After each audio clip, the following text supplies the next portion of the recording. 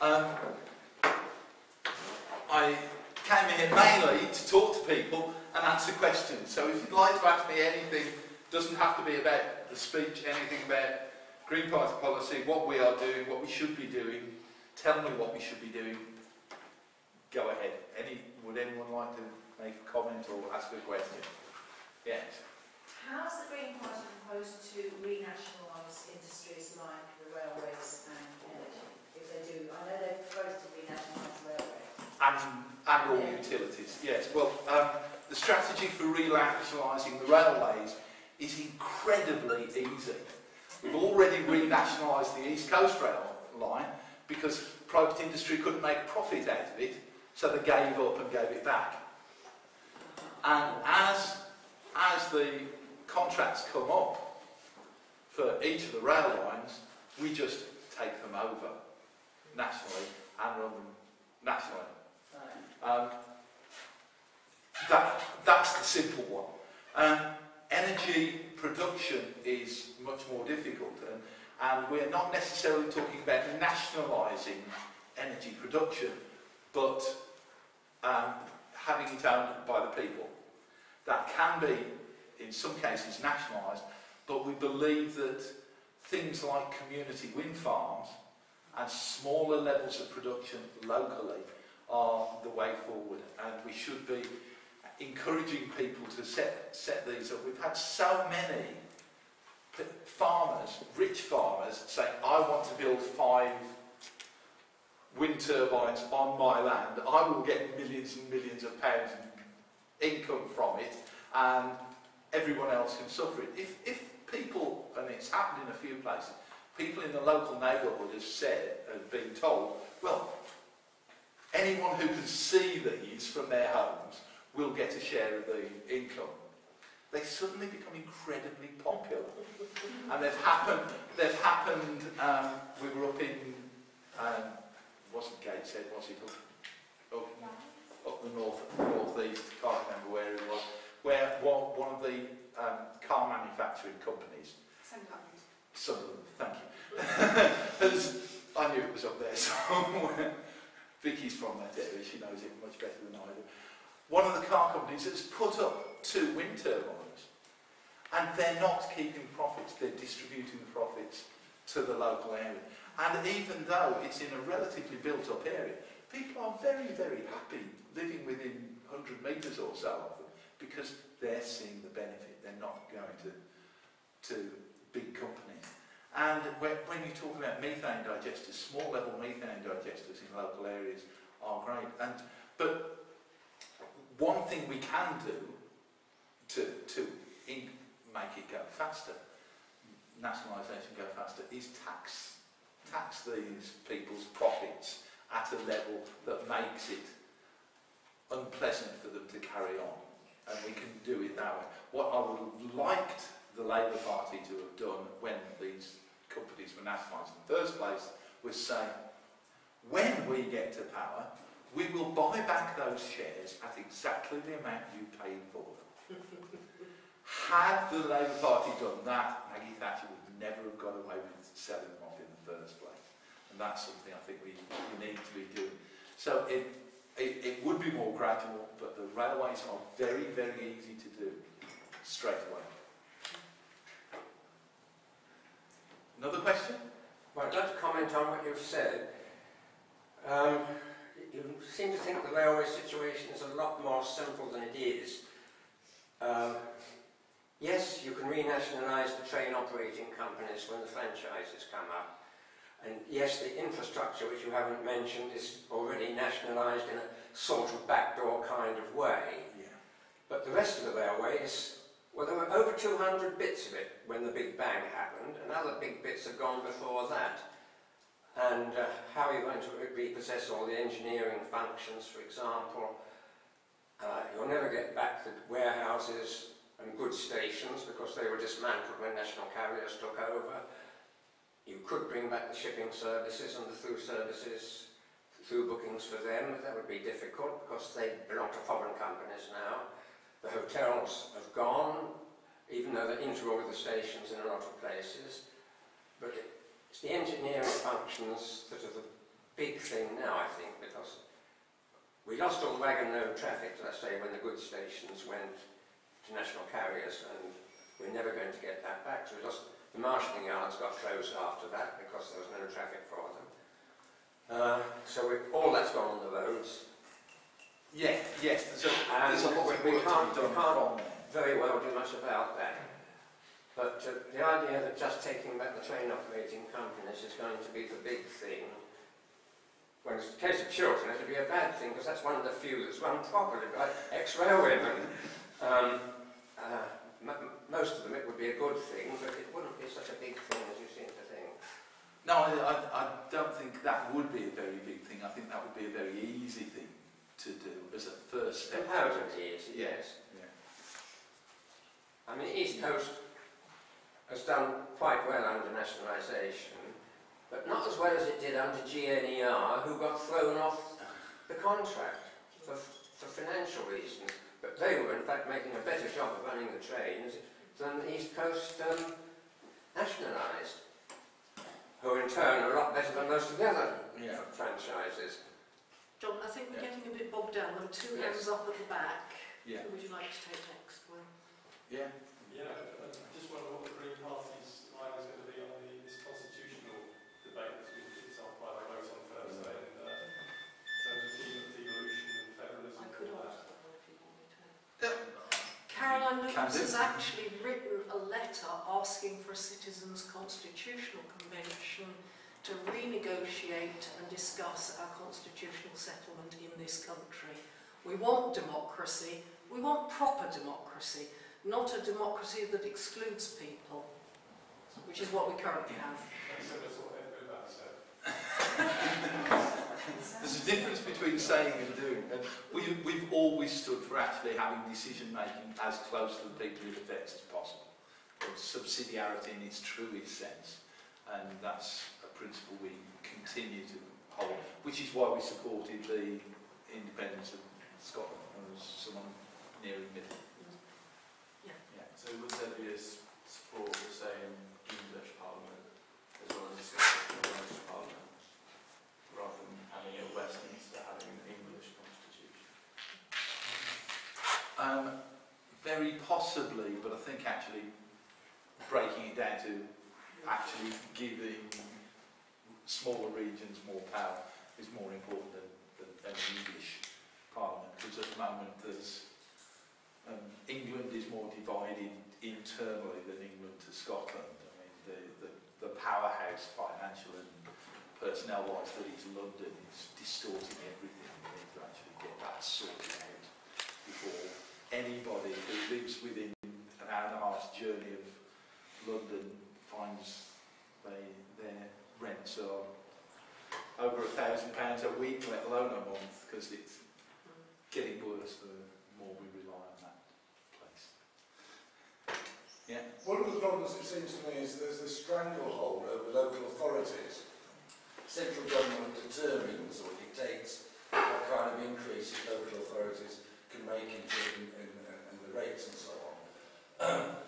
um, rather than having an, an English Parliament, it seems to me to, to be able to give much greater independence to local authorities with strict national guidelines about the kind of standards of services that need to be provided.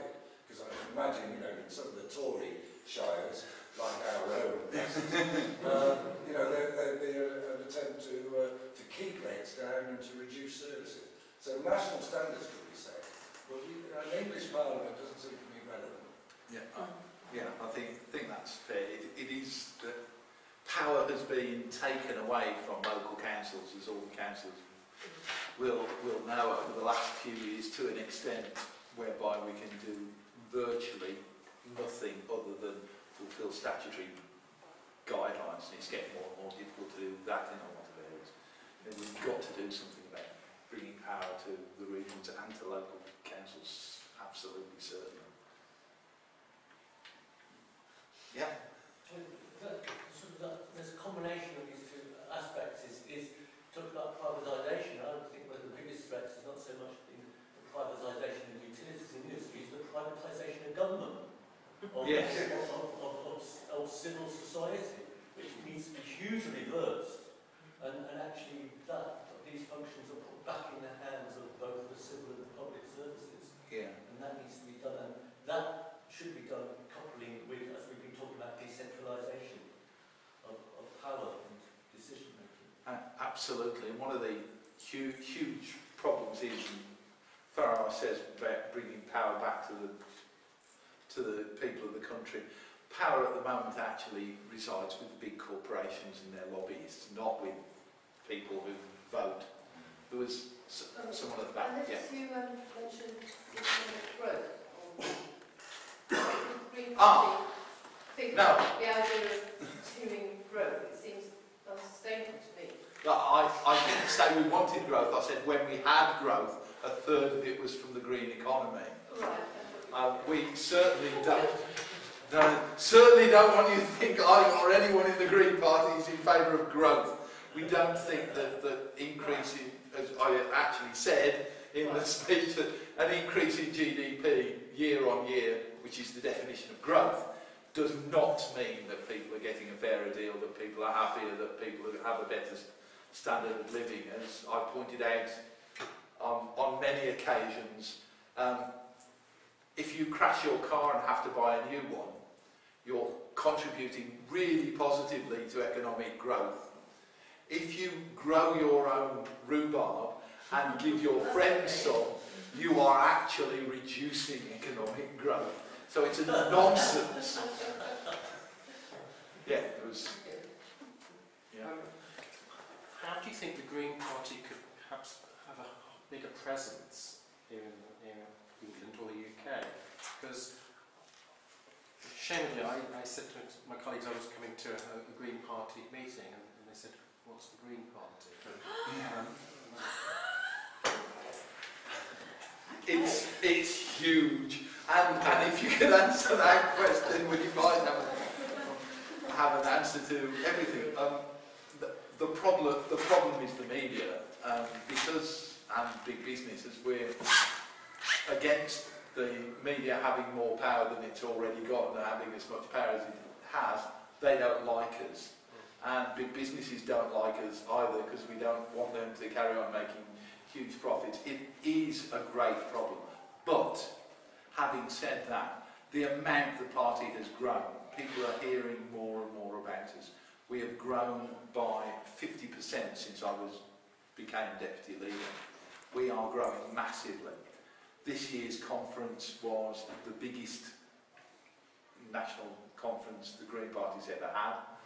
40% of the people who attended that conference were there for the first time. It got more media coverage in the West Midlands and nationally than we've ever had. And a lot of this is because we have been pressurising the media, we've been pressurising the BBC, there was a huge campaign, and when it was proved that we actually got more votes per minute of airtime than any other national, party, um, the BBC began to realise, well, maybe we ought to be talking to them and listening more. So we are getting much, much more coverage than we used to. And we're now reaching the stage, two years on, where Caroline Lucas isn't the only person anyone's ever heard of from the Green Party. So uh, we are making progress, but it's, it's, it's like wading through treacle at the moment. But our time will come, and it is gradually coming, I think. And it's not a continuous thing. We will. what, do those percentage figures that you mentioned equate to in numbers? Say, 50% bigger than Um, we are now at 18,500, which is not huge compared to certain to UKIP or Labour or any of the others, um, but it's a lot more than we, we have been recently. But Labour and Tory membership is going down. Yes, yes, absolutely, yeah. And, and the Lib Dems plummeting, all three of them, where we are on a, a steady, sustainable growth. so growth is good in some ways. yeah. Well, I just wanted to ask you about the, the maths essentially. You've, you've set out a really um, comprehensive kind of outline of what a different kind of economy would look like.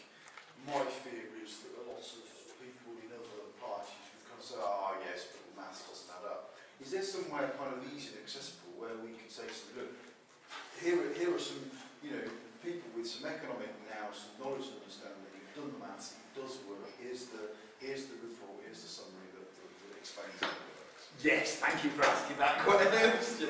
Yeah, question on the you repeat the question? Yes, I can repeat the question. Um, the question was essentially, is, is there anywhere um, clear where the maths behind this new division of the economy is, uh, is set out? And as a mathematician by trade, this is important to me. If you, if you actually can get hold, and I think it's still online, of a copy of the 2010 General Election Manifesto, all of our policies in there were thoroughly costed. Channel 4 ran a documentary programme. They spent three months investigating line by line the economics of the justification in it was an appendix at the back of that manifesto. You won't have seen the programme because it never went out because they couldn't find anything that didn't add up. The next manifesto for the coming general election, we have decided, and I've pressurised them, will also be fully costed. There will be an appendix where all of the figures are there and they will all add up and it will be checked by economists and mathematicians because we are expecting Channel 4 to try and do likewise. And it, it's, it was so frustrating after we'd cooperated with them on producing this to say how, how it would work and how we didn't need austerity, we didn't need cuts to services. They didn't put it forward because it didn't prove what they wanted to prove in the first place. Absolutely disgraceful problem we have with the media. But we will do it again and you will be able to refer to that manifesto which is there's the previous one where the figures are there for what we would have done and there's new figures in the new manifesto as well. Yeah? So um, if, for example, economic conditions were made less attractive for multinationals, you know, because um, they were going to be more squeezed on, tax evasion or Yes. perhaps, perhaps corporation tax would be increased, that sort of thing. Um, would, how, the Green, how, how does the Green Party answer arguments that, that they would simply move their enterprises elsewhere and that there would be an increase in unemployment in this country? Um, well, the, the, the fight of the businesses is got nothing to do with unemployment we're talking about two people to run a head office of a, a business. Uh, when the Scottish companies were talking about moving their headquarters down south, it's not the workers in it, it's just a couple of people to pick up the, sure, pick up the post for their head, There head are office. still some enterprises that do employ ordinary people. Yeah, yes, but they would, sti- they, they would still employ the people where they are. I mean, Okay? Why not? see. yeah, yes, it's, it's, You can't move a factory as easily as you can move an office. yeah. Oh, so they would you- move you their don't use office the in order, to, in order to pay lower tax, but they would still employ the people in this country. Yes, yes, and like, like Starbucks, if they're not Hmm. paying, they still they still They the they coffee still shops need to in Oxford, coffee. not That's Oxford. true. Yes, um, well, the the idea is we actually do a form of taxation where they pay the tax on the money in the country where it's paid.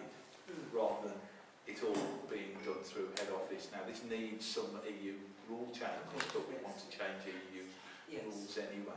But it, it is possible. It's it's difficult um, to make sure it happens. But at the moment, the, the current race to the bottom, to the to for countries saying, oh, we'll we'll reduce our corporation tax to 25%. Oh, we'll go 21%. Oh, we'll go 20%. It's it's absolute nonsense, and we we can stop it. We've got to stop it in agreement with with other countries, and we can do it by taxing the money where it's spent instead of where the head office is.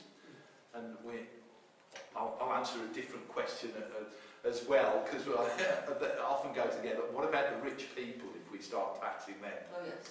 a lot? The, these rich bankers who bring such a lot of money into, into this country, uh, which they do in the way of taxation. They do bring in a lot of money to this country. but only because they took it out in the first place. When the when they the, the money money makers in the city buy commodities at one price and sell them at another and make a huge profit, they're doing one of two things or both. They're reducing the amount the producer gets for their commodities, or they're increasing the price the consumer pays. So if they go, that differential in price will go with them. So let them go. That wasn't direct answer to that the question, but it goes hand in hand on it. Yeah. Following on from that discussion, there's an awful lot that word big business has been bandied around. Isn't there a danger of the Green Party coming across as anti-business? And isn't there an acceptance? There is. There are businesses that can be socially responsible. Where do you draw that line? Where are you going to say that's a big business? We're going after them. That's a medium-sized SME. That's a small business. How are you going to encourage those people without tarring them with the same brush as the larger businesses? You're just going to say capitalism is bad. People who make profits are bad. Isn't that isn't that a negative way of approaching it? Um, when, when we're talking about big businesses, we're talking about, and, and not liking big businesses, we're talking about multinational corporations who are paying minimum wage, are riding roughshod over the people they're supposed to be helping, and destroying smaller local businesses. It's quite a nebulous definition. isn't it? But, uh, um, I think it is. BP, Shell, Tesco, Walmart, Yeah, I, I agree with you, but that's they probably That's- fulfil some of those criteria, but not all. I'm not disagreeing with you. Yeah. It's, it's a difficult thing to just go to big business. Don't we need to be a bit more defined about how we're, how we're going to do it? Because to some extent, yes, they do have a lot of power. But if we're, if we're just going to say we're going after you guys, then in, terms of actually generating political um, uh, validation or political support, that's going to, isn't that going to become a bit of a barrier? But the Green Party targets aren't specific businesses. The Green Party targets are poor business practices like tax avoidance, tax evasion, having your headquarters in Liechtenstein or Jersey so you don't have to pay UK tax. Those are the poor business practices we need to clamp down on. Yeah. The other, Shouldn't we be saying therefore, they need to pay proper corporation tax on whatever profits they're making at whatever level. So we should be start targeting practices rather than the businesses. Mm. I We're- think we need to be careful to say, if we're, if we're just going to keep banding this word around big business, you have to sort of say, well, where is, what does big business seek to become small and medium, and become big? I think the point is that the bigger the business, the easier it is for them to engage in these kinds of business practices. Small and, I mean, you said yourself, SME, there is a classic economic definition of a small and medium enterprise. There is a classic economic definition of a small business, yeah? These businesses generally don't have the resources to have a headquarters in Liechtenstein. They generally pay their taxes. It tends to be the bigger businesses who employ accountants like KMPG and, and the rest of the other, I'm not supposed to say bastards, am I? Um, what? who, Four is the phrase we're looking for. the big four, thank you, Chris, who are well versed in all the legal loopholes in the tax system. And those are the kinds of things we want to crack down on, and those are the kinds of things which are generally done by the bigger businesses.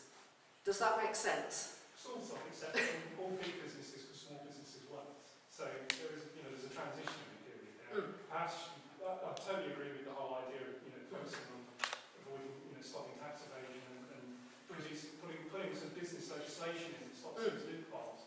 But I think to be sort of generally saying we're going to go after business uh, per se, and that once you, you, transit, you, you, you make this transition from being a small or medium business to a large business, you're a bad thing. I think we need to be putting in, you know, focusing on, on ways On the of- behaviours Yes. rather than Yes. the size of the business. Yeah. Take your point, yes. And of course, There we go, feed that back to the of- National of Party. course, there, there are big, big businesses like John Lewis and, and the Um, co-op that we approve of a lot of their practices, and, Mm. and we try and talk about big business corporations and as a shorthand for the, the big businesses who are doing the things we're trying to and it's the actions that they're taking that we're trying to stop rather than any businesses big. Yeah. That's what I think is the, um, when we talk about the environmental challenges and about climate change, biodiversity last week, tend to talk, talk about them and, you know, Green Party it seems to me talks about them in terms of, you know, sharing things more equally between people, um, perhaps reducing our consumption, but it seems to be impossible to talk about the numbers of people, about population, and, uh, you know, we talk about the maths of, of, of, of the issue, you know, there's a certain way you can go in terms of sharing, a certain way you can go in terms of reducing consumption. But, you know, if population continues to rise, it, uh, it is, you know, the- the- just from a mathematical point of view, it's very hard to see how this thing's going up. Um, well, if, if you were in the farming um, workshop that just happened, it was, it was pointed out that at the moment we produce enough food to feed 14 billion people, twice the current population of the earth, is what we currently produce in food. Uh, so the, the amount of people is really a secondary concern. And, and as societies become more equitable, as they become richer, and there are, there are now half the countries in the world with a declining population. It's not Uh, just about food production, though, you know, environmental challenges are, you know, diverse and But- varied. But when you, you've got um, 1% of the population of the Earth producing more greenhouse gases than the other 99%. And we population in the end will make a difference, but it's the, the things we can tackle and tackle sensibly are the distribution and the use of the resources we've got. Um, the, the poor people in Africa aren't using the carbon and the, the Earth's deposits. We need to tackle the people who are using them, not talk about how many people it's, it, it has been used as a red herring to justify a lot of things in the past and and as a red herring to stop us concentrating on doing what we need to actually do in terms of, of ensuring that the, the richest countries in the world stop using up all three planets worth of resources.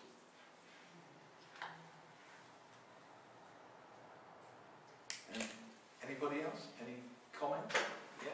Um, question on the uh, Green Party's policy on international aid.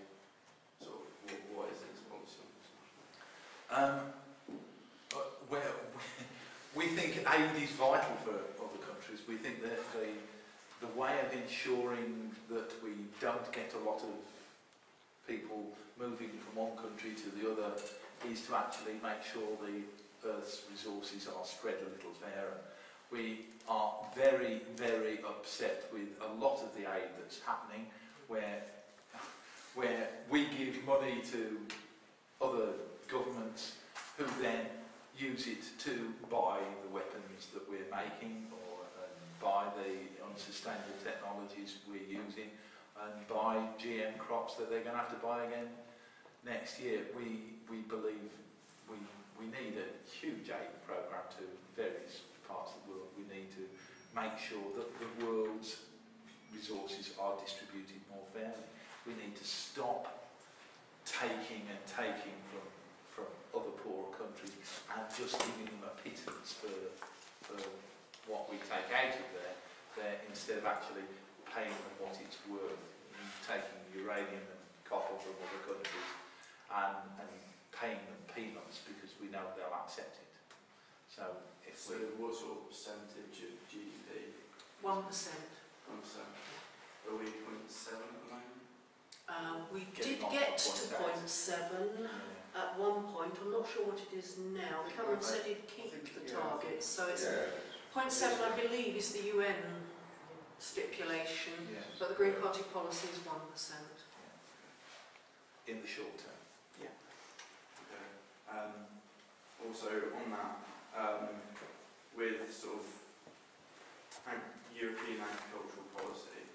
Um, so obviously, your that is. we, we obviously subsidise our agriculture very heavily through the Eu- European Union, and um, with the sort of European Union policy of everything but arms, um, sort of treaty with Africa and places like that, would it not um, sort of reducing our common agricultural policy would that help to support Africa so they could grow more agriculture to export to Europe, but also so they could produce more agriculture themselves?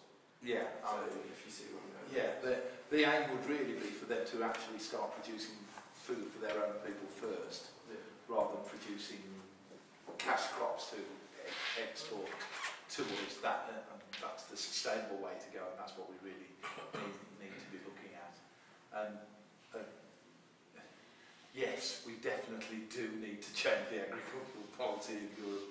It, it, it, it is silly that we we exclude and penalise other people and then and then give them give them aid. It doesn't make sense. And yet we need to totally scrap the food policy and make sure that local people in Africa and here can actually eat local food and there's plentiful supply.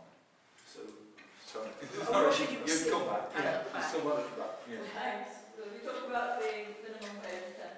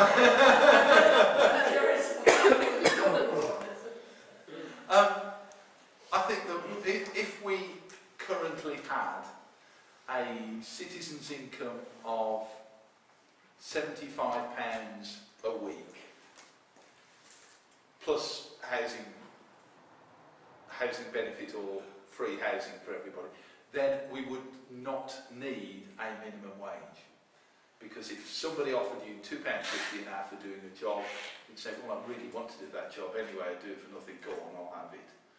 And, and if somebody wanted you to um, get on your hands and knees and clean out the local sewer and they were, uh, wanted to pay you £20 an hour for it, you could say, I can live without it, no thank you very much.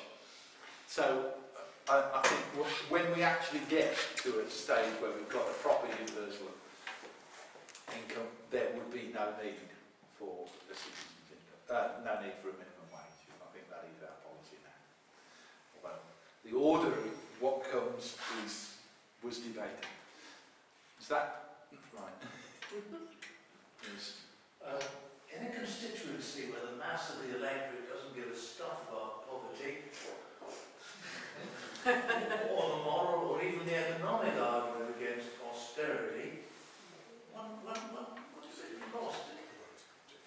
In, in green discussions, not that I follow them much, but the spirit level type argument doesn't seem to be getting as much prominence as it did a few years ago.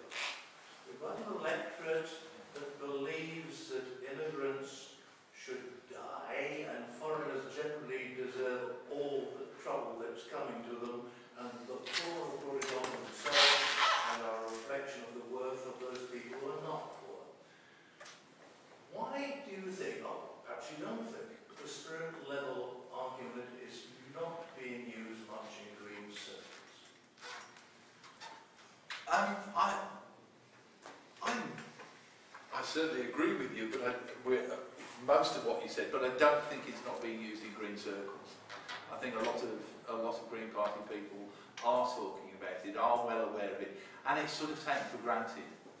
We all, that, that, that even if you're rich, however rich you are, you're, you will feel better, you will be happier if there is a smaller differential between rich income and the poorest people living, li living around him. More why more equal societies almost always do better. Yes, yeah. do better and are happier. Maybe examples in Scandinavia and Japan, for example. Yeah. yeah. Makes sort of crime rates and teenage pregnancies with you see, you're proving it's well thought about, well known in Great politics.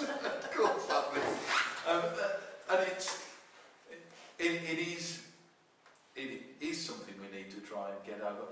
And the problem has been that the, the big neoliberal parties, led by UKIP and followed by the other three, have been saying exactly the opposite. And it's very, very difficult to get our voice heard. And, and when, when you start trying to explain trying to get through to people that it's not actually going to help you survive from the poor and be happier just to build a gated community and lock mm. yourself in every evening. That, that it is difficult to get people to start thinking and understanding that you really are, that people really are happier in a fairer society. Because so many people have been trained and taught that to get happier you get more that's what you need. And of course, with so, so many people coming with parents and grandparents who lived in absolute dreadful poverty, the need for some money to get out of poverty and out of desperate situations was so great, and still is for a lot of people, that, that they don't realise, and it takes an awful lot of persuading and explaining to get people to realise that once you've got a certain income, more income doesn't make you more satisfied and happier. You need a certain level of income to stop being dissatisfied and hungry and desperate. But it's not a conti continuity. You don't get more happiness with more income. And it is, it is difficult. But I think most Green Party people understand it and know it and talk about it amongst themselves. But it's very difficult to get across. Yeah. I'm just being cynical because I think I, uh, that, that I think people are aware of that, they, they, don't look at the rationale for it.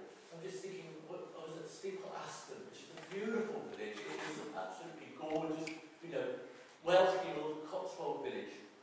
On the village notice board, there is a notice for four therapists and two counsellors for people with stress.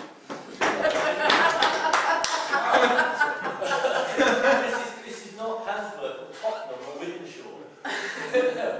uh, and you just wonder, but, but if you went on the doorstep and don't and said to them, you really might maybe the reasons you need this stress counselling is because you're rich and your name is poor.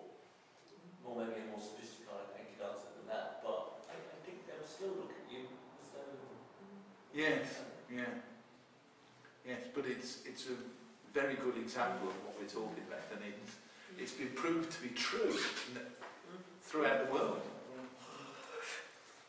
In fact, there's a new Danny Dorling book about to come out, or has come out, which actually goes through all the arguments, all the reasons why a more equal society is happier. So it's worth having a look at. Try and explain it, try and promote it. Yeah, absolutely. Okay, thank you very much for some very interesting questions.